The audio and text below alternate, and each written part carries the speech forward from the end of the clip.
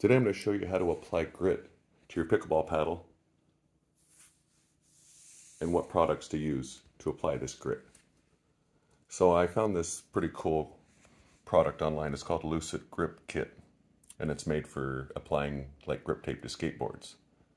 They have uh, three different grit levels. They have a, a light, a medium, and a heavy. I went with the light because I want to match the grit close as I can to a paddle that when you buy it right off the shelf.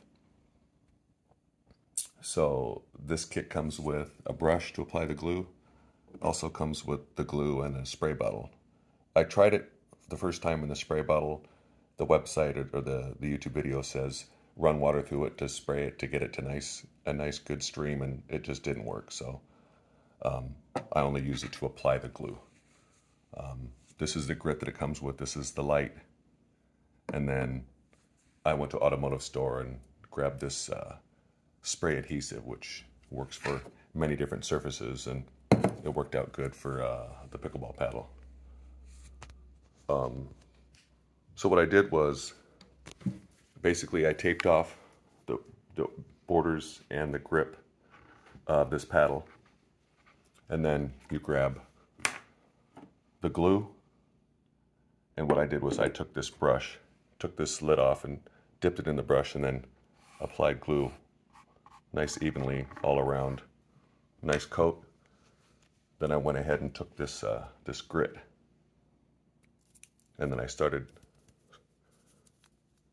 just basically like this, tapping it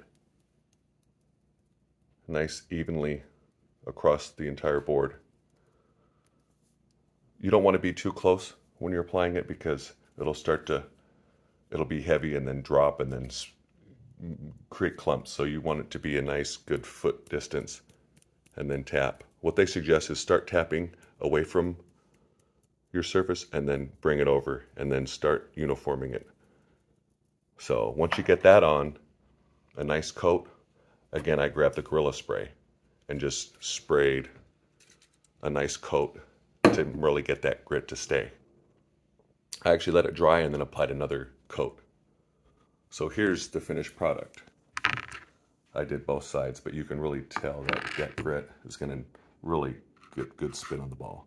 When I rub my hand across it, that grit's not coming off on my fingers. It's really staying there. It would have been nice if they had, you know, different colors, but unfortunately they only have clear, so I know this board is black, but you can really so that see that looks real nice.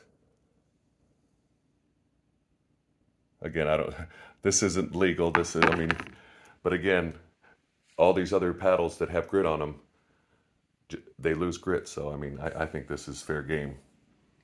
I'm not in any league or anything. So, I mean, again, who, even I heard that the pros have the, the um, pickleball manufacturers apply grit for them.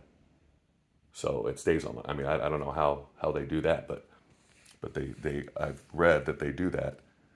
And again, who wants to buy a new paddle? These these paddles, good ones, are up to you know, over $150. You lose your spin rate after a few games. It, this is the way to go. So again, like this is before, and this is after, and it's. I've yet to use it, um, so I'll update a video once I uh, go ahead and use it let you know how it works. But I also, uh, there's another product that's pretty good, these lizard grips.